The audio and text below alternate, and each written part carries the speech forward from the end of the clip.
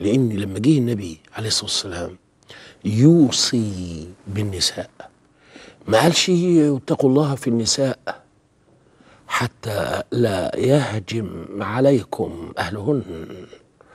وإذا بالحرب تسعر بينكم. الكلام ده إحنا عملناه سنة 2015 البنت بقت تقول أنا جوزي من يوم ما مات أبويا وهو ماسح بكرامة الأرض. خلي بالكم من الكلام ده. عشان ماليش أهل يقفوا قصاده. أنت في معركة يا روحي. يا حبيبة عمه. وأنا في حرب يا بت. النبي سيدنا محمد عليه الصلاة والسلام لما جه يوصي بالنساء. وصى بيهم من فوق. استحللتم فروجهن بكلمة الله. بنفس النص كده. بكلمة الله وقال عوان عندكم. يعني أسيرات عندكم. يا أيها الرجل اعلم أن امرأتك أسيرة عندك.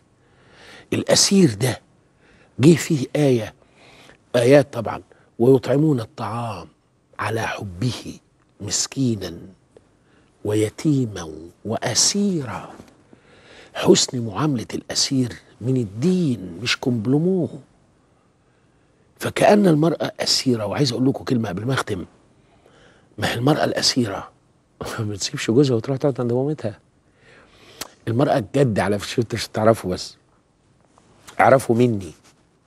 اعرفوا مني. المرأة المسلمة ما تسيبش بيتها نهائي إلا بعد وفاء العدة من الطلاق. واضحة عربي أنا ما بتكلمش هندي. يعني حصلت مشاكل يصلحوها حتى الهجر. سورة النساء على الشمال. واهجروهن في المضاجع. الهجر يكون في السرير. وبعدين تتفق مع جوزها على إن الحياة امبوسيبل بالفرنساوي امبوسيبل في اللغة اللي بفهم فيها شوية.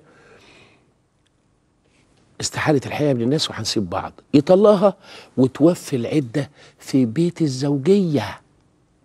هو اللي يخرج.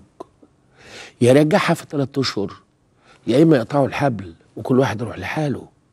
نظام غضبانة عند ماما ده قسما بالله العلي العظيم ما فيه ريحة الشرع ولا ريحة الدين.